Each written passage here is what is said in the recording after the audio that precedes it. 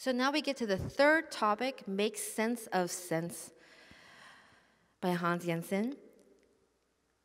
When measuring intervals acoustically, we want to be as precise as possible, and cents, the logarithmic unit of measuring, allows us to do that. We can develop the ability to perceive pitch relationships. So we begin with octaves. One octave is 1200 cents and is the only interval that is the same size in all three tuning systems. So that is easy to remember. And in the diagram, you'll see that 1200 cents is the same for equal temperament, just and Pythagorean. The perfect intervals, if you recall from the harmonic chart, the perfect fifth is two cents greater. The good news here is that it's the same for the just and Pythagorean tuning systems. It will be 702 cents for both of those. The perfect fourth is the opposite, two cents smaller. In equal temperament, there are five semitones in a perfect fourth, and that's where we get 500 cents. In the just and Pythagorean, we subtract 2 cents from that and we get 498 cents. Major thirds, if you recall, is the big one. Just intonation, the major third is smaller, 386 cents. We subtract it from 400, which is equal tempered. So 400 minus those 14 cents gives us the just 386 cents. Pythagorean, which we haven't yet discussed, is greater at 408 cents. Certain intervals require adjustments to sound harmonious, but how are you going to find them? One needs to be able to hear the difference. So, in order to find a just major third, we rely heavily on the natural harmonics. We're going to use the fifth partials of the open strings, which is two octaves plus a major third above the fundamental string, to find the pitch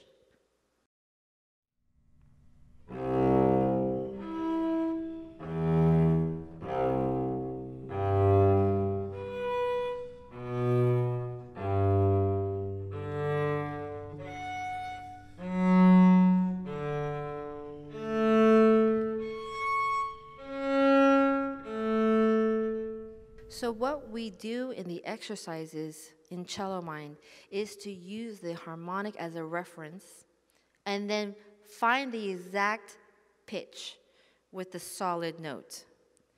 It will be physically lower.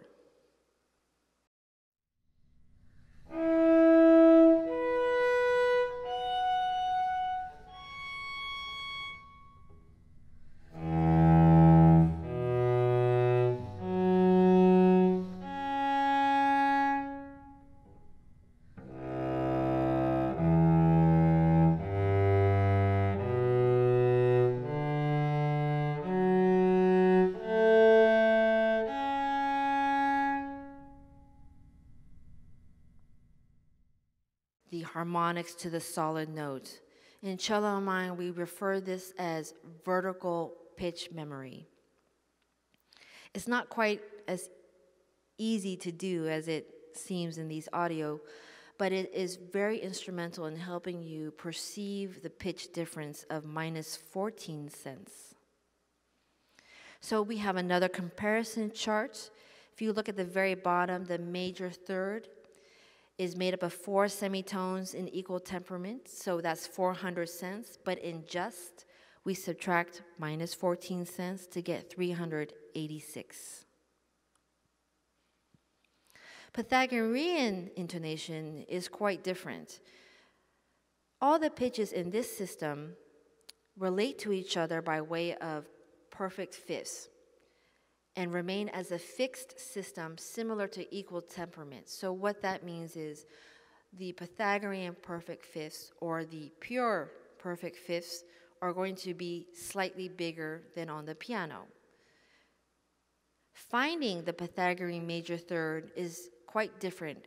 We stack perfect fifths on top of each other and then move that pitch down to a lower octave so then we can go back and stack again.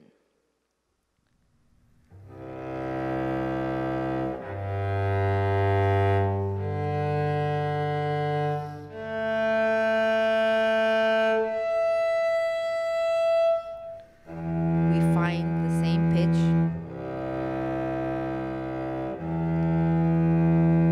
So we use that open C string as a control. So the major third of the C is E. So unlike just intonation, we are actually using our open strings as 702 cent perfect fifths. When we reach the E, we then match that two octaves below so that we can play it against the open C. The math behind this can help you better understand the pitch difference. So four Pythagorean perfect fifths, which are 702 cents, times 4 equals 2808 cents. These four perfect fifths take up a two octave range, which is 1200 cents times 2, you get 2400 cents. If we subtract those two sums, we are left with a Pythagorean major third. 2808 minus 2400 gives us 408 cents.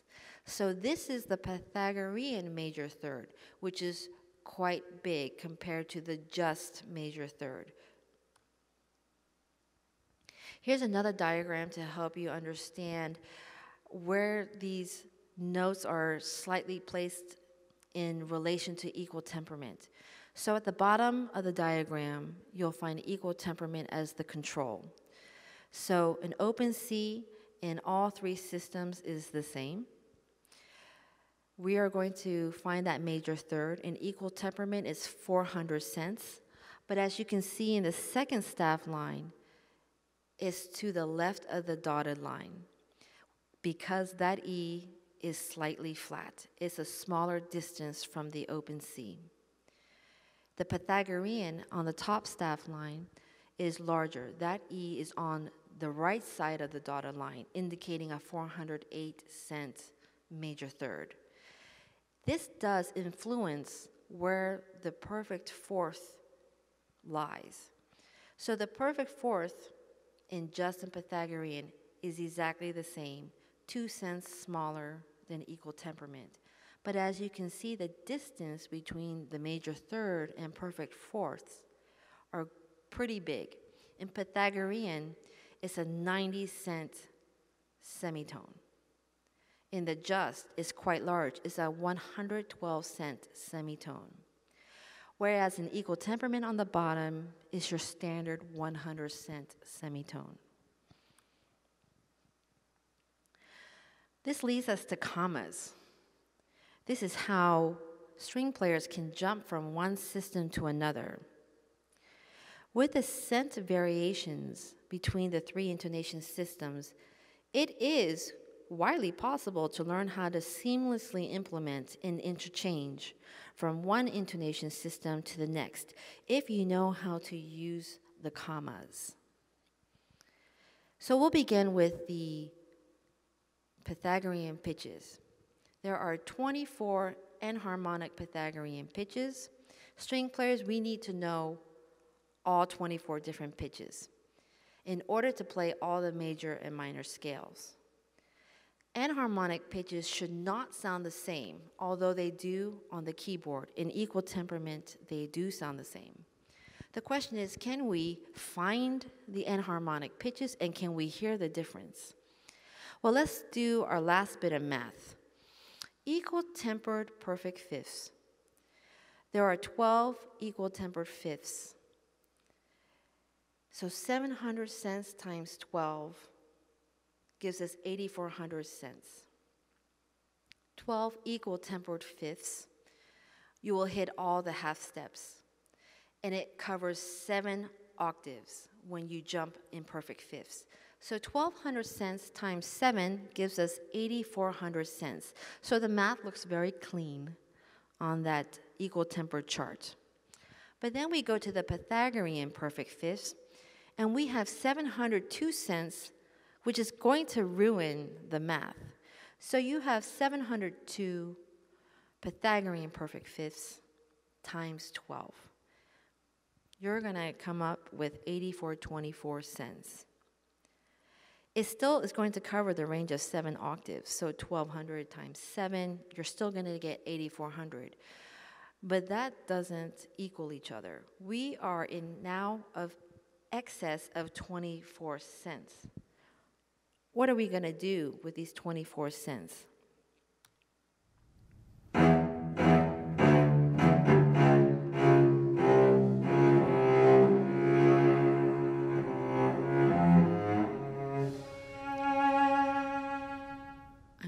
Back to an audio where we showcase a B sharp, where the arrow is. The 24 cent difference is crucial to Pythagorean enharmonic notes because it is the exact pitch difference between each enharmonic note. So in this sample, that B sharp needs to be placed 24 cents higher than for the cello, the open C. You cannot really play an open C there because you will sound very flat.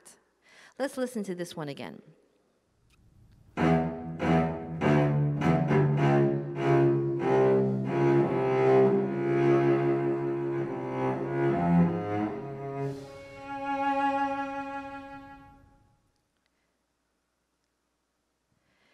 This 24 cent difference between all enharmonic keys is known as the Pythagorean comma. We have a really fantastic chart here, the spiral of fifths. Both notes on each spiral's arm is the enharmonic note. So if you start at C and you jump 12 fifths going around that spiral, you will land on B sharp. But that B sharp is 24 cents higher than the C. That is where the comma, the Pythagorean comma, exists. It exists between each of those notes on every part of the spiral's arm. Now we're going to have two cellists play together the series of 12 perfect fifths. And when they land on the final perfect fifths, you can then hear the difference between a B sharp and a C. I bring to you Hans Jorgen Jensen, lead author of Cello Mind.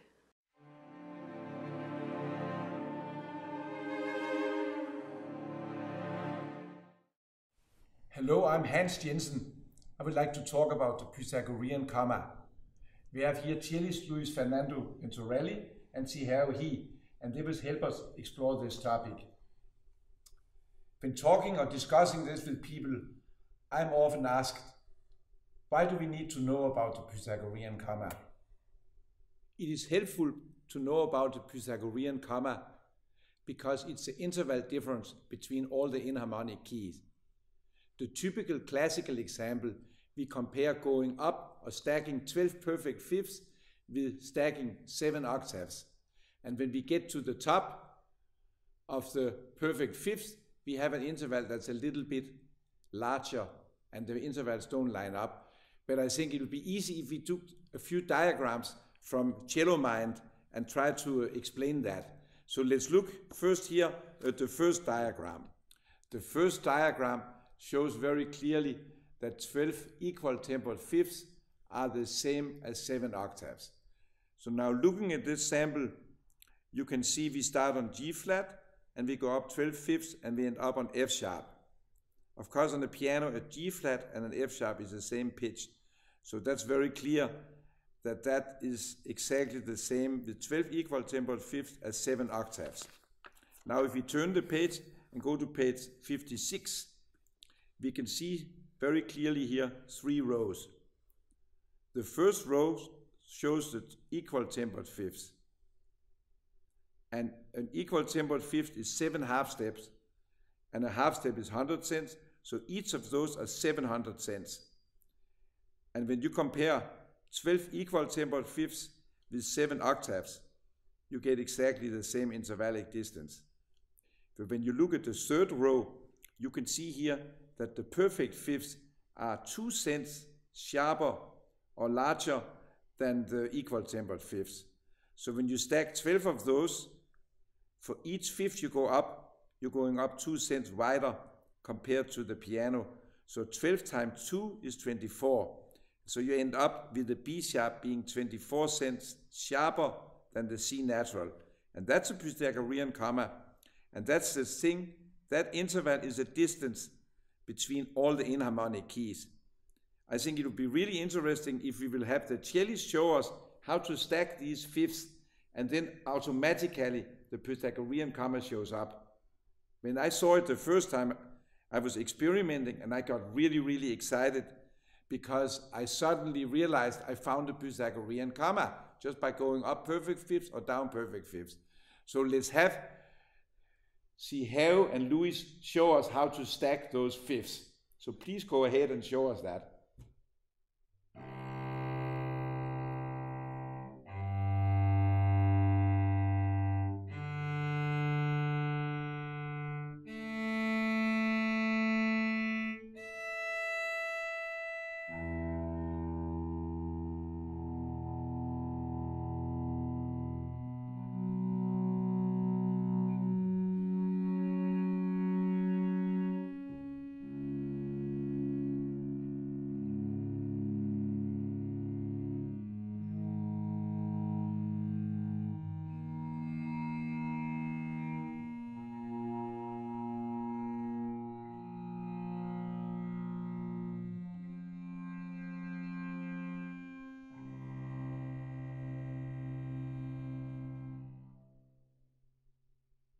Thank you for going through this uh, perfect classical example where we start on C natural and go up 12 perfect fifths so we get to B sharp. And B sharp is 24 cents sharper. And I'm often asked, when we shift through the keys like that, don't we shift out of tune compared to the piano or to compare to a symphony orchestra? If we played with the piano and we played in B sharp major, surely it would be too sharp and we, our ears would make us adjust. But since C sharp is the key that we usually use B sharp in because it's the leading tone to C sharp. Then we use B sharp all the time and it never lines up perfectly with the piano. So as a leading tone, it doesn't clash with the harmony. And we have two very beautiful examples from the Rococo and the fourth variation where we use a B sharp as a leading tone to C sharp. Can you show that around?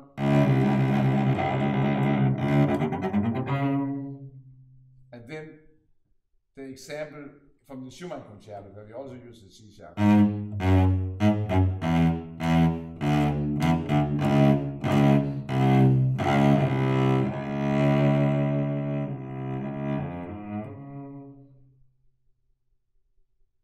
Yes, that's a fingering that when I started with Leonard Rose, that's a fingering I learned actually at that time. At that time, he was just saying, yes, D flat and C sharp is not the same pitch. And that's why he uses that uh, fingering there. Since then, after I studied all of this, I really understand why. But the most important thing is it sounds good to the ear. Thank you so much.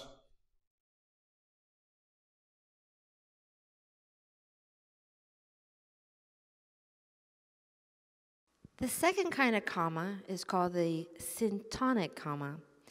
This is the secret to understanding how we move between Pythagorean melodic tuning and just harmonic tuning. So, to recap, the Pythagorean and the syntonic commas are used in distinctly different ways. The Pythagorean comma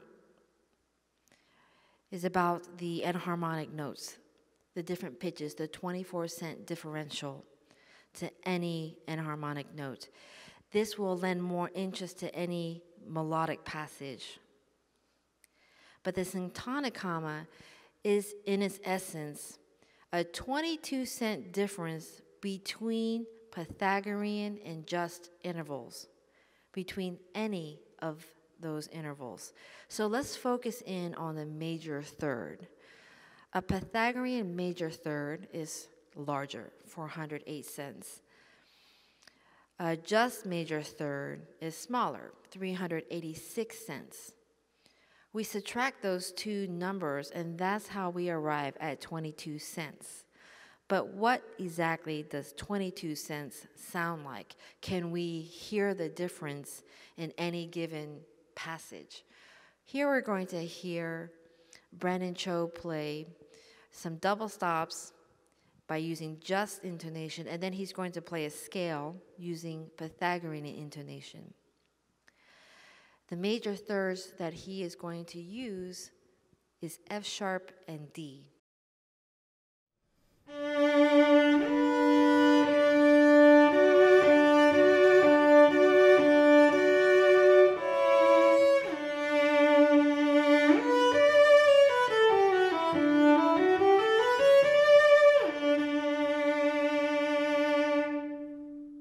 Now, you may not have noticed anything different but indeed, he has moved his second finger from a low F sharp to a higher F sharp. We'll have another chance to listen to it. In this next passage, we're going to hear a minor third. So, in just intonation, a minor third is larger, it's 316 cents. And then he's going to play that minor third in a melodic sense again in a scale. These two notes that he's going to play is F natural and D.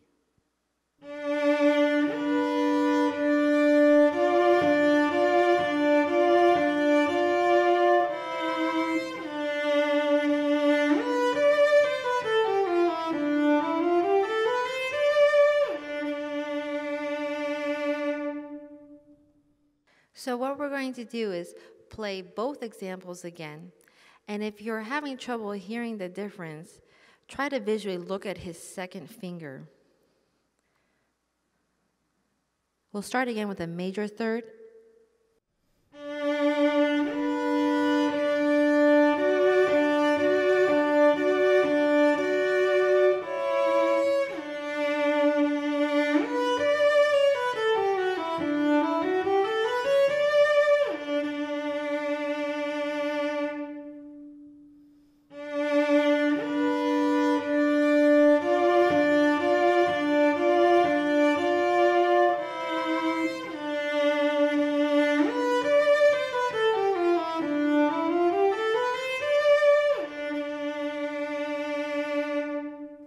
So this 22 cent interval is small, but really important in string intonation, as it is frequently used to shift from the horizontal melodic Pythagorean tuning to a vertical just tuning.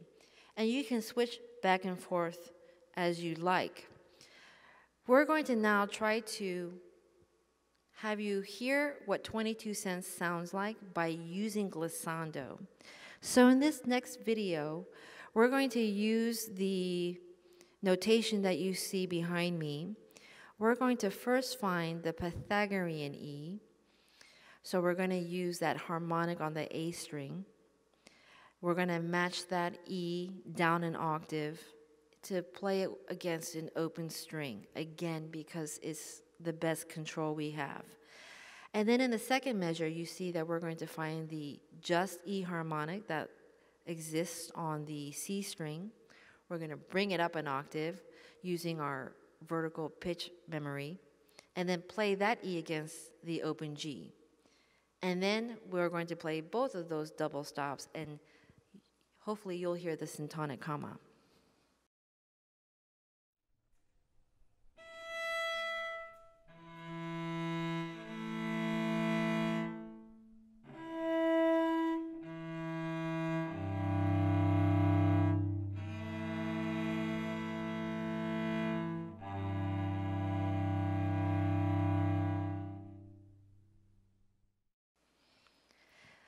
So now we're going to move into a minor third.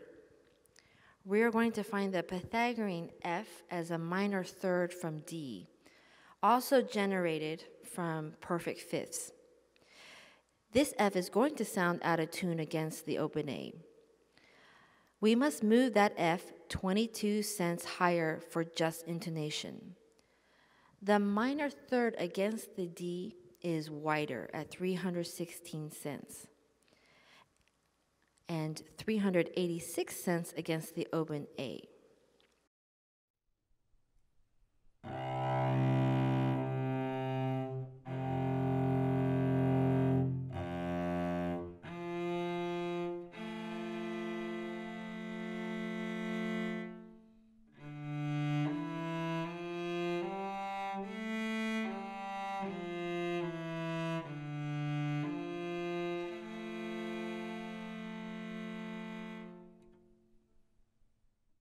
So you can hear that a 22 cent glissando is, is quite drastic and it covers a good distance on the fingerboard. But this is how we jump from one system to the next by use of these two different kinds of commas.